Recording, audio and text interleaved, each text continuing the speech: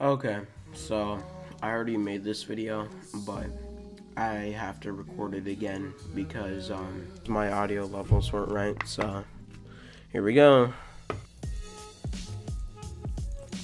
Basically, what you do is you hold down the shoot button or the fire button the whole time that you're doing this, okay?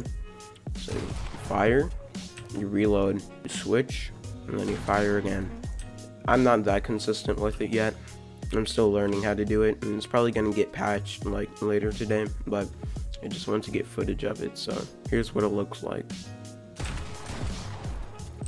Oh, I wasn't expecting that on the first try.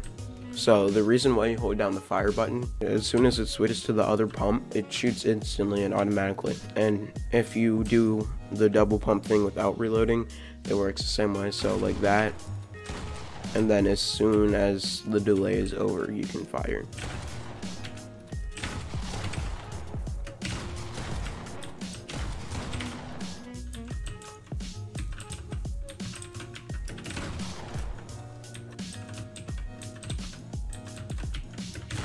I've been trying for like five minutes now, and I can't get this.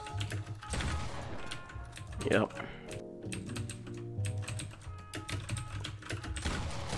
There we go, finally. I think I might actually try some different variations.